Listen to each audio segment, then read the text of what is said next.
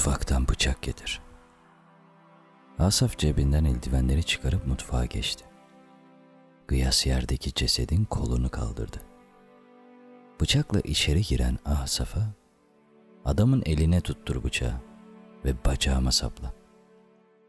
Ama amirim, başka türlü çıkamayız işin içinden Asaf. Meşru müdafaa diyeceğiz. Adam bıçağı çıkardı üstüme yürüdü. Dur ihtarına uymadı. Üstüme bıçakla saldırdı ve bacağıma sapladı.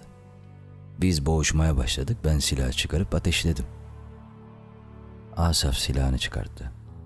Şarjöründen birkaç mermiyi Gıyas'a uzattı. Sen niye durdun demesinler amirim. İyi ama silahın ateşlenmedi. O zaman mantıklı olan benimle boğuşması. Bir satranç oyuncuları gibi hamleleri hesaplamaya başladılar. Ben olduğum yerde çakılı kalmıştım. Haklısın. Kusura bakma Asaf. Muayil işte söz geçiremiyorum. Sorun değil amirim. Sizin için canım feda. Sen ne bekliyorsun burada muayil? Arabaya geç. Durumu daha da bok etme lütfen. Ben kapıdan çıkarken verecekleri ifadeyi canlandırıyorlardı. Maktulün bıçaklama şeklini, Gıyas'ın onu nereden vurduğunu, Asaf'ın darbeyi nereden, nasıl aldığını ve en son Gıyas, Afir'in eline tutuşturduğu bıçağı Asaf'ın bacağına soktu. Koca yürekli. Sesini bile işitmedim çıkarken. Asansörle aşağı inerken birkaç dairenin kapısının açıldığını ve konuşmalar duydum.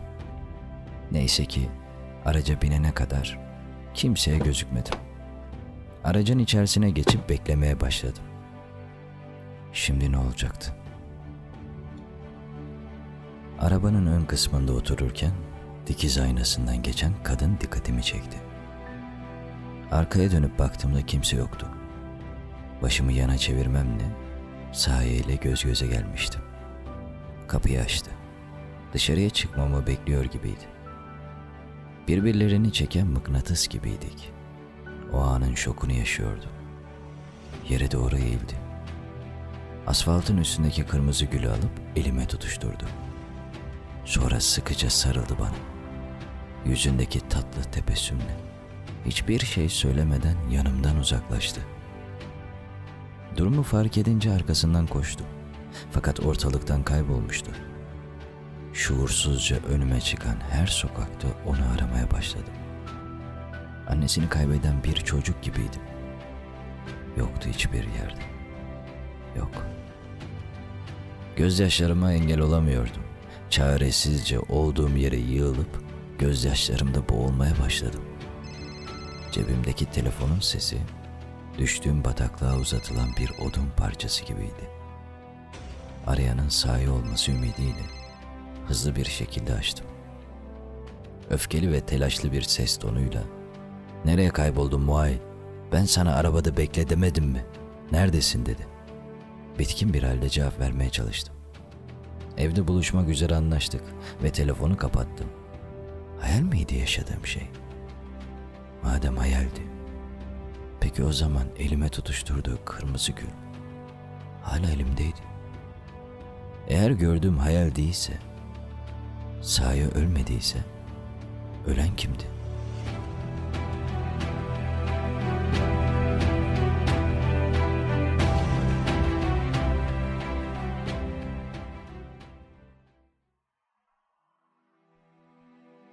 Girdiğimde Gıyas salonda gergin ve sinirli bir şekilde oturuyordu. Beni görünce halime üzülmüş olmalı ki sinirini yumuşatıp ne oldu muhayil dedi. Ben arabanın içinde otururken sahaya geldi. Arabadan çıkınca sarıldı bana. Sonra hiçbir şey söylemeden çekti gitti. Peşinden gittim. Her yerde onu aradım ama bulamadım dedim. Bak Muayil, sen benim kardeşimsin. Sayenin ölümünü kaldırmıyor olabilirsin ama bu kadar kendini salman doğru değil. Sen bugün birini öldürdün. Farkında mısın? Sırf bana veya sana bir şey olmasın diye Asaf olaya dahil olmak için alakası olmadığı halde bıçak darbesi yemek zorunda kaldı. Şimdi bir sürü prosedürlerle uğraşacağız. Meşru müdafaa olduğunu ispatlamak için. Sen hala kalkmış sahi diyorsun. Kendine gel lütfen. Konuyu kapat artık. Kıyas her ne kadar mantıklı konuşsa bile Sahi'nin bana uzatmış olduğu kırmızı gül durumun hayal olmadığını gösteriyordu. Ona hala avuçlarımın içinde sıkı sıkıya tuttuğum kırmızı gülü gösterdim. Kaybolmaması için o kadar sıkı sıkı avuçlarımda tutmuştum ki dikenlerinin ne zaman battığını ve bu kadar fazla kanın ellerimden nasıl aktığını anlayamadım. Kıyas madem gördüm bir hayaldi. Sahi bunu bana nasıl verdi? dedim. Kıyas öfkesini kontrol etmeye çalışarak cebinden çıkarttığı telefondan fotoğraf galerisine girdi. Ve açtığı fotoğrafı görmem için bana doğru uzattı. İyi değilsin diyorum. Bana da mı güvenmiyorsun? Fotoğraf hastanenin morgunda çekilmişti. Saye'nin cansız yüzünü ilk defa görmüştüm. Gıyas'ın telefonu hala elimdeydi. Ayağa kalkıp yanıma geldi. Bunu da atlatacağız birlikte kardeşim. Ama artık bana güven olur mu dedi. Tam elimden telefonu alırken telefonu çaldı. Arayan sahayeydi. Şaşkın bir şekilde göz göze geldik. Gıyas'ın yüzünde enteresan bir tepki vardı. Telefonu açtı. Evet. Ha, evet. Süper. Tamam. Geliyorum ben de şimdi ofise. Görüşürüz. Telefonu kapatıp Saye'nin telefonunu incelemeye vermiştik ya. İlgili memur aradı şimdi. Aferin mesajlarını bu hat üzerinden tutanağa geçirebileceğiz. Ben şimdi ofise gidiyorum haberleşiriz. Dikkat et kendine. Usudur. Bir şey olursa ara beni dedi. Tamam dedim. Gıyas evden çıktıktan sonra içimi kemiren şüphe daha çok arttı. Neden ilgili memur kendi bireysel numarasından Gıyas'ı aramadı ki? Saye gerçekten yaşıyorsa, Gıyas bunu biliyorsa, bana neden söylemesin ki? Mutluluğumla mutlu olacak bu hayatta tek kişi o. Diyelim ki saklamak istesin. Zaten böyle bir şey istiyorsa onu söylemeyi engelleyen bir şey olmalı. Yoğunlaş Muay, yoğunlaş. İki seçenek var. Ya gerçekten Saye hala yaşıyor ya da bunların hepsi bir ilizyon. Yaşıyorsa bunu nasıl kanıtlayabilirim? Veya nasıl öğrenebilirim? İlk morga gitmeli. Ama aradan zaman geçti. Çoktan defin işlemleri gerçekleşmiştir. O zaman mezarlıklara gidip sorgulayabilirim. Kabrini bulursam biraz daha rahatlayabilirim. Apar topar evden çıktım. Arabaya binip mezarlığa doğru ilerlemeye başladım.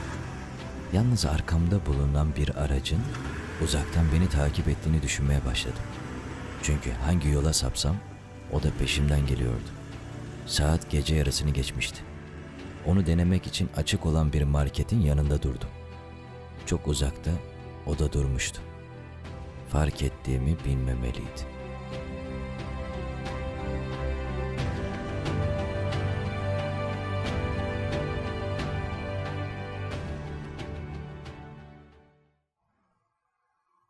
Biri beni takip etsin ki? Marketten bir şeyler aldıktan sonra tekrar araca doğru ilerledim. Arabadan çıkmamıştı veya çıkmamışlardı. Arabayı çalıştırıp yola devam ettim. Takip etmeye devam ediyorlardı. Onlar beni takip ediyorken bu şekilde mezarlığa gidemezdim. Aracı tekrar eve doğru sürdüm. Eve girdikten sonra pencereden onları kontrol etmeyi düşündüm.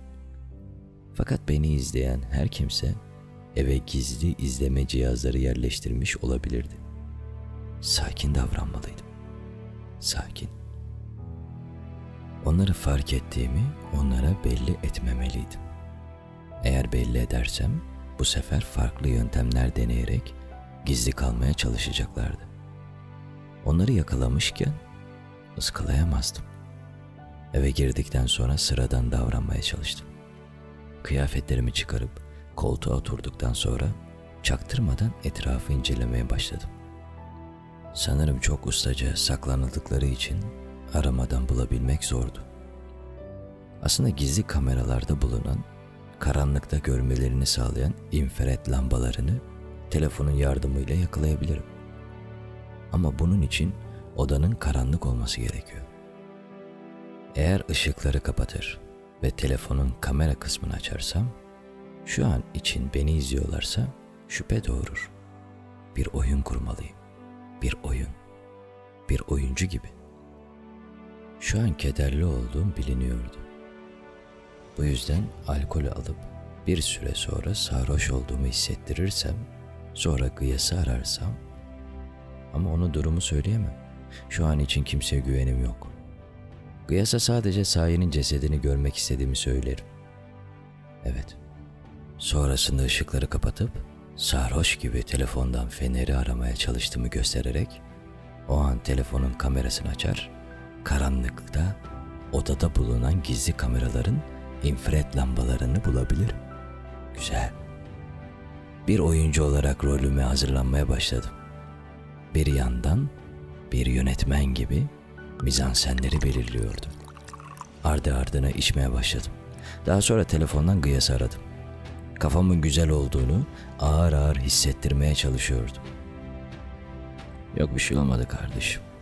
Sadece hala sahinin ölü olduğunu kabul edemiyorum. Hala cesedi morgda mı? Öyle mi? Peki beni oraya götürebilir misin? En azından görünce içim rahatlar. Ha, tamam kardeşim. Yatacağım ben de şimdi. Görüşürüz yarın. Gıyas telefonda bana sahinin yeni mezarlığa gömüldüğünü ve yarın beni oraya götürebileceğini söyledi. Şimdi ikinci aşamaya geçebilirdim. Uyku aşamasına geçtiğimi göstermek için soyunmaya başladım. Ve geçip odanın ışıklarını kapattım. Sendeleyerek telefonun kamerasını açtım. Bir yandan lanet olsun fener gibi benzeri cümleler kurarak söylenmeye başladım.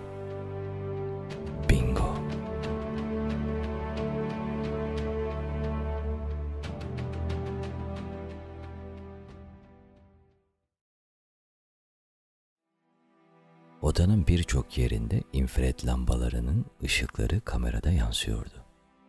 Tahmin ettiğim gibi. İzleniyorum. Acaba ne zamandan beri? Fazla dikkat çekmemek adına telefonun fenerini açıp yatak odasına ilerledim. Kafamı toparlamam gerek. Uzandıktan sonra beynimin içinde oluşmuş fırtınanın girdabına teslim oldum. Soru 1. Neden izleniyorum? Soru 2. Saye gerçek mi yoksa hayal mi? Soru 3. Kıyas neden bir şeyler gizliyormuş gibi? Soru 4. Neden ben? Mal varlığımın çok olması bütün bunların sebebi olabilir miydi? Bu yaşıma kadar hiç soluklanmadan çalışmıştım. O kadar çok para kazandım ki ve o kadar çok gezdim ki hemen hemen her şeyi denedim, gördüm. Ve bütün bunların ardından başka deneyecek bir şey bulamayınca insan işte o zaman hayat tek renk altında toplanmaya başlıyor. Renksizleşen dünya zevk vermemeye, yapayalnız hissettirmeye başlıyor. Çevrende bulunan yüzlerin maskeleri belirginleşiyor. Neden etrafında oldukları apaçık ortaya çıkıyor. Ufacık bile olsa mutlu olmak için gerçek sevgiyi arzuluyor insan. İşte tüm bu duyguların yoksunluğu içerisindeyken, tutunabilecek bir renk kalmamışken insan dünyadan kaçmak istiyor. O kaçma isteği bile heyecan yaratıyor. O ruh halindeyken, her an dünyadan gidebileceğimi düşünürken, Gıyas'a vasiyetimi bırakmıştım. Bana bir şey olursa tüm mal varlığımı ona devrettiğime dair not düşüp imzalamıştım. Ama sonra Fikri Muzmer projesi aklıma geldi. Bu oluşum sayesinde belki aradığım gerçek sevgiyi bulabileceğime inandım. Takdir ilahi. Sahi ortaya çıktı ve hayata tekrar tutundum. Şimdi bütün bunları düşününce eğer saye gerçekten ölmemişse işin içinde kıyas bile olabilirdi. Yarın her şey netleşecek.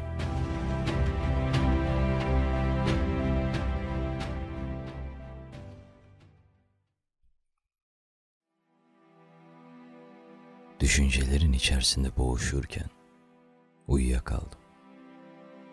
Zamanı kaçırdığımı düşünüp panikle uykumdan uyandım. Hemen Gıyas'ı aradım.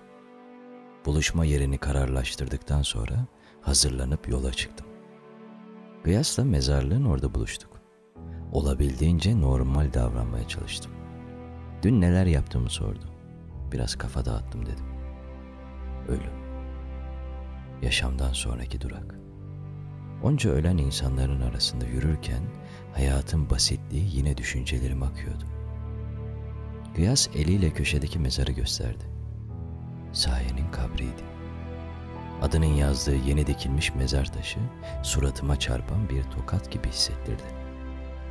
Gözlerimden akan yaşları tutamadım. Gıyas bana sarılıp beni sakinleştirmeye çalıştı. O gün biterken bir yandan bizi takip eden var mı yok mu kontrol ettim. Tuhaf. Gıyas varken yanımda kimse bizi gözlemlemiyor gibiydi. İşin tuhaf tarafı Gıyas'ın bana olan sıcak davranışları aklımdaki kötü düşünceleri eritiyordu. Pek evde olan kameralar, uzaktan takip eden kişiler, kendime zarar vermemem için Gıyas tarafından organize edilmiş şeylerdi. Kim bilir? Ama eve varınca zihnimde oluşan düşünceler keşke dememem için son sorularla savaşıyordu. İçimdeki son şüpheyi kaldırmak için sayenin mezarına gizlice gidip kabrini açıp kontrol etmem gerekiyordu. Belki alabileceğim bir saç örneği sonrasında DNA kıyaslamasıyla kimliğini tam olarak tespit ettirebilirdim. Hazırlanıp evden çıktım. Arabaya binip yola koyuldum. Devamlı yön değiştirip takip eden olup olmadığını kontrol ediyordum. Tahmin ettiğim gibi. Akbabalar yine peşimdeydi. Kırmızı ışıkta durduk. Onlar hemen arkamdaydı. Arabanın içerisinde iki adam oturuyordu. İşin tuhaf tarafı birisi Afir'e benziyordu. Ya da bana öyle geliyordu. Mendil satan birçok çocuk arabamın etrafını sardı. Onlara arkadaki aracı oyalamaları şartıyla yüklü miktar para verdim. Eğer başarılı olurlarsa dönüşte tekrar para vereceğimi, bu anlaşmanın aramızda kalmasını söyledim. Zaten en kötü araçtakiler dışarı çıkınca çocuklar kaçmaya başlardı. Yeşil ışık yanar yanmaz gaza bastım. Çocuklar aracın etrafını sarmış, arabanın içindeki akbabalar delirmeye başlamıştı.